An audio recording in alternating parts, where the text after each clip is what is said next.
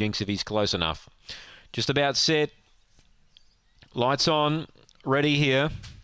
155, Sabon Panther. Let's see how she begins. They're ready racing. She hopped out pretty well. She's staying deep, so that's going to give her a great chance of leading, and she'll get over. Snowy Jinx was pushing hard and then copped a check. Around them comes Crown Sally. So Crown Sally now races past Sabon Panther as they go into the back. Sabon Panther just stalks the leader now.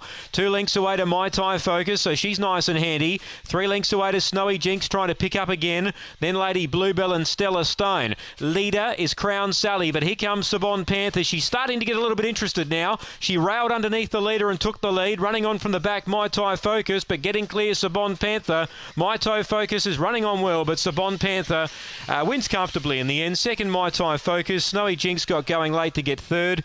Then Stella Stone, Lady Bluebell. Crown Sally gave you a sight for your money early, but tired really badly and carved up to finish back towards the rear. Sabon Panther, number eight.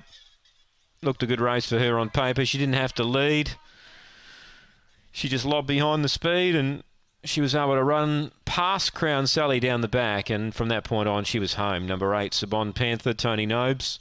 Seven second, My Tai Focus. She's pretty genuine. She runs out a solid 640.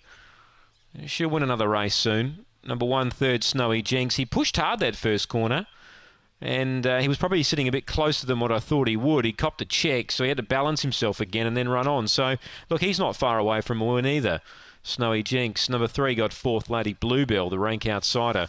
38.45 the run. Three lengths the winning margin by two and a half. It's 8 7 1 3, race five from Gawler.